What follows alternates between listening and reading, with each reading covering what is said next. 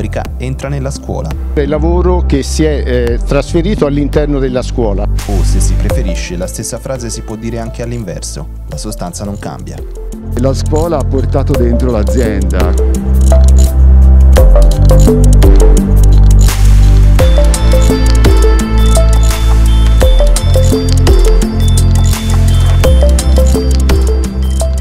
Questo passo consiste soprattutto nell'aver trovato nell'istituto Vulsi e quindi eh, nella scuola un'apertura mentale che eh, rispecchiasse quelle che sono oggi le esigenze eh, delle imprese e quello che i ragazzi troveranno domani nel mondo del lavoro. L'incontro avviene al Buzzi in virtù del patto sancito nel giugno scorso tra l'Istituto Tecnico e Confartigianato Imprese Prato una grande collaborazione dal mondo delle imprese, da Confartigianato in particolare, per far conoscere ai ragazzi quello che sarà il loro futuro nel mondo del tessile.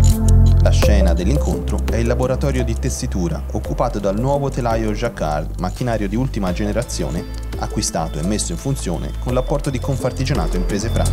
Questa macchina rappresenta la forte innovazione che è stata data al settore del tessile abbigliamento e moda. Risponde pienamente alle esigenze del, dell'attività produttiva delle aziende del distretto pratese.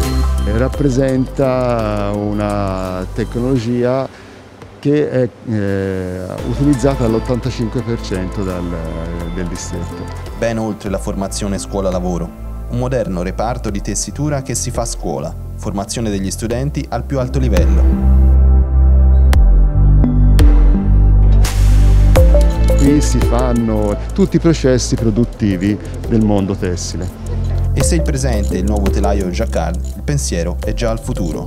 La macchina che vedete è uguale all'85% delle macchine nuove entrate nel distretto negli ultimi anni. Per completare l'opera bisognerebbe affiancarla alla sua sorella, diciamo sì, a Licci, a quadri, diciamo sì, per tessuti piani e l'idea potrebbe essere quella di lanciare un crowdfunding fra tutte le aziende fratesi.